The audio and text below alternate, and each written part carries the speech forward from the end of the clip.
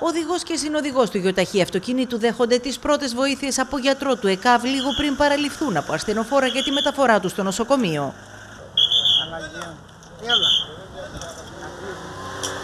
Τι να κάνουμε, μακάρι να μην πεθάνουν οι άνθρωποι, έχουν χτυπήσει. Έχουν χτυπήσει οι καημένοι. Ήταν λίγο μετά τις 11.30 το πρωί στον επαρχιακό δρόμο Χανίων Αλικιανού.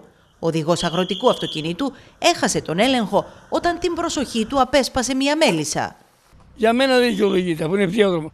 Εγώ νόμιζα μήπως θα γινόταν τίποτα είσοδος και έξοδος εδώ, στο κατάστημα. Αλλά από η τελευταία, μήπως ένα μεγάλη ταγητά. Ο οδηγός του αγροτικού που επέστρεφε από τα Χανιά στο Φουρνέ υπέστη ελαφρά τραύματα, ενώ εκτός κινδύνου νοσηλεύονται ο οδηγός και ο συνοδηγός του επιβατικού αυτοκινήτου. Αυτός με το αγροτικό είπε πως μπήκε μια μέλισσα, τίποτα άλλο. Ο Μάιος άρχισε με ένα τραγικό τροχαίο στην Εθνική Οδό Χανίων Ρεθύμνου κοντά στο Πλατάνι, που στήχησε τη ζωή δύο μοτοσυκλετιστών 21 και 51 ετών, ενώ η συνεπιβάτης του ενός γλίτωσε με τραύματα. Ο Θεός να ξενιστεύει αυτά τα πράγματα. Ανήμερα της Πρωτομαγιάς, ένας 22χρονο τραυματίστηκε μετά από πρόσκρουση του αυτοκινήτου του σε σταθμευμένο όχημα στο Βαμβακόπουλο.